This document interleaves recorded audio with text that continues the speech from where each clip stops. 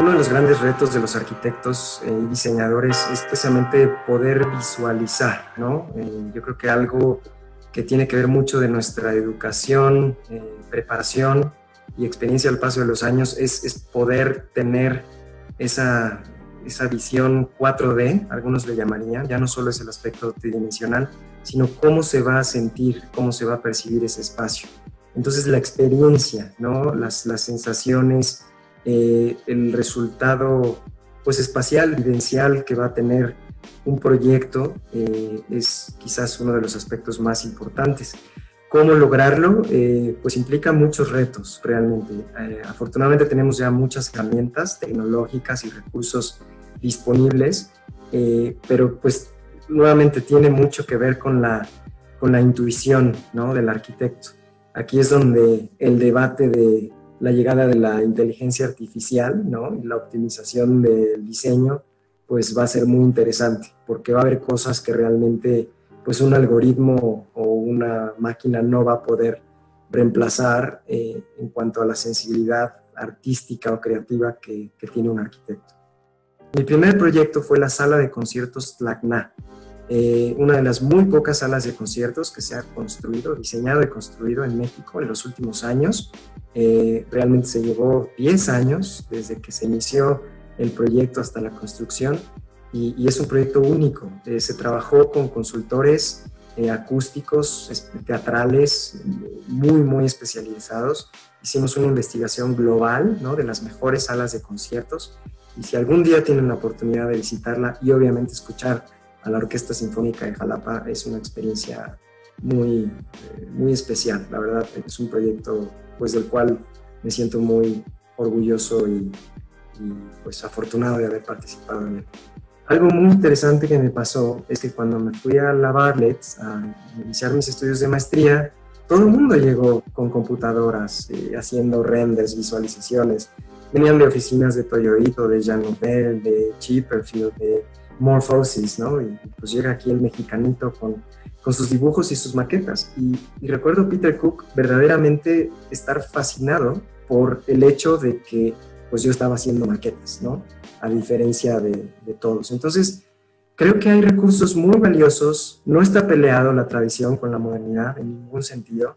La tecnología es muy valiosa, tenemos herramientas verdaderamente fantásticas, pero como proceso de diseño y como proceso arquitectónico, no hay que olvidarse que nada va a reemplazar un buen sketch, un buen, dibujo, ¿no? es parte de, pues ahora sí, de, la herramienta, ¿no? O sea, tener conciencia de que es delicado. Lo mismo si tienes un dibujo a lápiz, o sea, le pasas la mano y adiós, ¿no? Eh, la tinta, ¿no? O sea, eh, son temas muy artesanales. Ahora ya presionas escape o delete y y vas para atrás.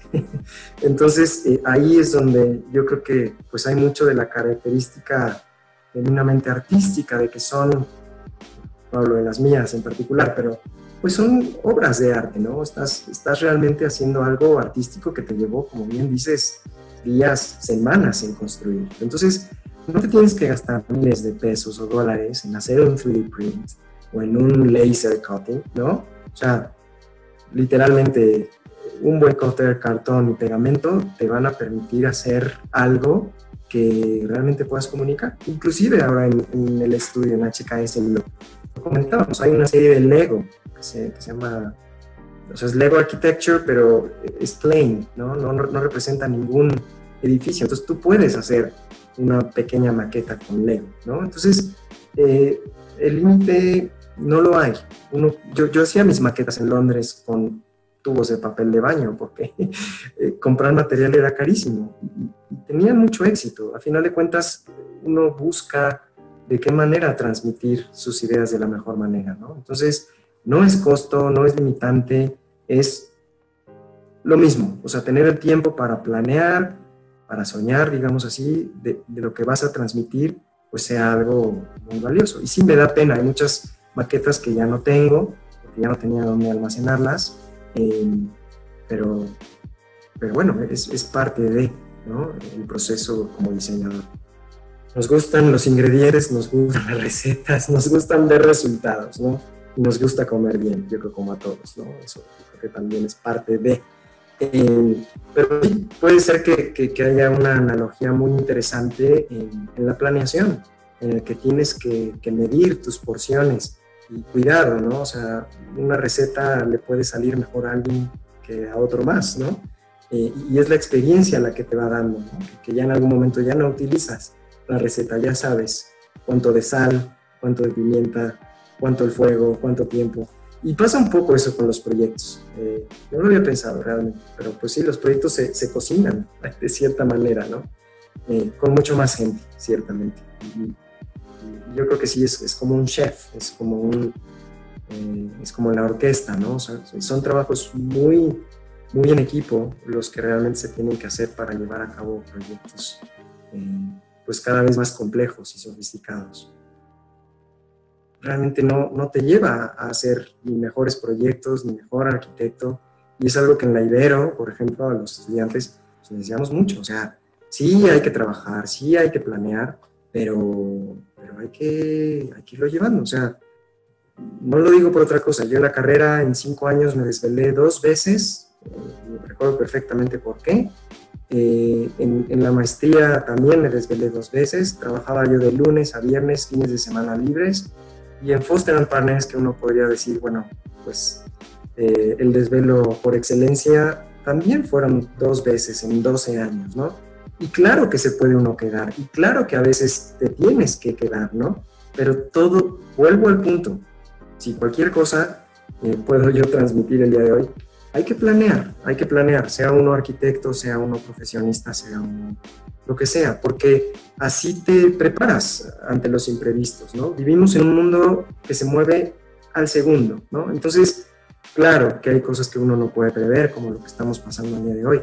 Por más que tengas un plan estratégico, dirías, bueno, pues eh, realmente, ¿y ahora cómo, cómo me, me, ajusto a esto? Pero es cierto, siento que me, que me esté un poco extendiendo en esto, pero, pero es muy importante por, precisamente por esas preconcepciones y mitos de que, pues, eh, nos pasa mucho, digo, no, no, quiero ser muy específico a, nuestro querido país, siempre, siempre hablo, es en general en economías emergentes, porque así pasa, es un tema cultural, largas horas de trabajo, poca productividad, pocos ingresos, ¿no? Y entonces vas a un país industrializado y ves que, ah, caray, pues sí se puede, ¿no? Sí se puede trabajar sus horas, ¿no? HKS es la prueba, o sea, somos una compañía altamente eficiente, ¿no? Trabajamos un horario, no trabajamos generalmente tarde, fines de semana, y, los resultados ahí están, ¿no? Y, hay varias compañías así, pocas, pero las hay. Entonces, es posible, es posible hacer un buen trabajo, eh, pero, pero requiere planearlo. El vidrio junto con el concreto, ¿no? El concreto armado en este caso, ¿no? El concreto, acero y vidrio vinieron a transformar completamente eh, la arquitectura, ¿no? En el siglo XX. Eh, entonces sí es un elemento muy, importante. Yo eh, quizás lo que, lo que pues he aprendido en estos 22 años es manéjese con cuidado ¿no? Es, es, es verdaderamente, ya ni lo llamaría un materiales, yo siempre lo veo como un sistema, inclusive en Foster hablábamos como como envolvente, no fachadas, ¿no? Es, es la envolvente, lo cual pues se manifestó muy eh, adecuadamente en el proyecto del aeropuerto eh, de México, donde, donde realmente es eso, ¿no? O sea, no hay muros, no hay cubierta, es, todo continuo. Eh, entonces sí, realmente creo que nos da todas las posibilidades con la tecnología. Cuando tuvimos la oportunidad de ir a, su planta, aprendimos muchísimo, ¿no? Y con, las sesiones que nos hicieron favor de, dar en la Ibero. Eh, entonces las posibilidades son todas, ¿no? Ahora con integración de películas fotovoltaicas, reactivas, en fin, veremos el día que pues, el vidrio se pueda cambiar de forma y demás, ¿no? entonces sí, es un recurso fantástico. Simplemente creo, eh, y lo digo con mucha humildad y cuidado, pues que, que, se ha usado y abusado de una forma no adecuada. Vemos edificios absolutamente de vidrio eh, en zonas tropicales, eh, altamente eh, insoladas, digo, obviamente de recubrimientos y todo lo que sabemos, pero tiene que haber una responsabilidad como en cualquier otro material o sistema, ¿no? Que realmente se utilice, pues donde se tiene que utilizar, cuidar el aspecto de las vistas, la iluminación, el confort, em, y yo creo que ahí es donde, donde está el reto, ¿no? Pero, pero en nuestro país, digo, cuando estábamos haciendo el concurso para, para BBVA Bancomer, fue, el tema, ¿no? O sea, realmente hacer un edificio de oficinas en México donde busques maximizar vistas y eh, tener iluminación natural, con un asoleamiento a las 5 de la tarde en marzo, pues es, complicado, ¿no? Pero afortunadamente los recursos y, y, todo, todo implica nuevamente cómo concebir la idea desde un inicio, ¿no? Algo que también he aprendido mucho es, si piensas en la solución después, ya es demasiado tarde, ¿no? ¿A qué quiero llegar, no? Tienes tus vidrios y, ah, bueno, vamos a ponerle louvers, vamos a ponerle un skin, vamos a ponerle... Eso es un, elemento pasivo, ya que después hasta tanto cuanto más caro te puede resultar, ¿no? Entonces hay que tener ahí un, buen balance entre, entre una cosa y otra, y lo mismo diría de, cualquier otro material o sistema. ¿no? Yo he estado hablando con varios colegas en los últimos días de varias disciplinas, en varios lugares del mundo, em, donde realmente es una gran lección que tenemos que escuchar y aprender y, que nos vamos a tener que adaptar, ¿no? O sea, puede haber la nostalgia de cómo se hacían las cosas, del pasado, de qué era bueno, qué era malo, sí, pero la realidad es otra el día de hoy y es dinámica y cambia cada día y nosotros lo vemos, ¿no? En la compañía, lo vemos en nuestra ciudad, lo vemos en nuestra sociedad, ¿no? Entonces, eh, sí es difícil predecir. Vuelvo al punto de la planeación. Es importante planear, es importante tener una visión. Si tú tienes una visión, misión y valores, tan cliché como pueda sonar, es, es tu brújula. Y eso es lo que permite a las grandes organizaciones en el mundo seguir adelante, ¿no? Eh, y es eso, es eso. Eh, adaptación, ¿no? Ya lo decía Darwin, no es el más fuerte, no es el más rápido, es, es, el que mejor se adapte. Y la verdad, creo que el medio ambiente nos está dando una lección, nos guste o no nos guste, muy importante en ese sentido. Y creo que hay un antes y un después de cómo se, se hacían las cosas. Nunca es ni muy temprano ni muy tarde para empezar a hacer algo, pero realmente se necesita pues muchas ganas de hacerlo, mucha convicción, una buena actitud, una buena disposición, mucha preparación, ¿no? Quizás dirán, pues nada que no sepamos, pero, pero es muy cierto, hablando de las recetas de cocina, ¿no? Hay una serie de ingredientes fundamentales que se tienen que cocinar, ¿no? Eh, adecuadamente para, para, llegar a los platillos. La primera vez se te va a quemar y la otra vez te va a quedar aguado, la siguiente a nadie le va a gustar. Eh, entonces es un poco eso, hay que creer mucho en uno, en lo que uno quiere, eh, yo de verdad pienso de mis días en la Facultad de, Arquitectura de la Universidad de Veracruzana, a la cual estoy enormemente agradecida como alma mater número uno, eh, al día de hoy, ¿no? Y mucha gente me decía, ah, bueno, pero pues sí, llegaste, hiciste, pero detrás de cámaras hay, hay mucho, mucho esfuerzo, mucho trabajo eh, y mucha dedicación. Yo, le llamaba necedad, alguien me ha dicho, no, es perseverancia.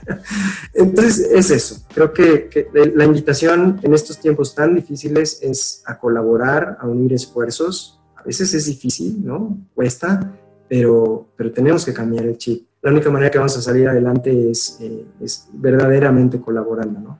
Agradecerles realmente eh, esta invitación, eh, digo, la, la oportunidad de poder compartir experiencias. Eh, normalmente han sido ya algunos años de camino recorrido eh, muy entusiasmado también con esta nueva etapa eh, que, ha iniciado recientemente llena de retos pero de oportunidades.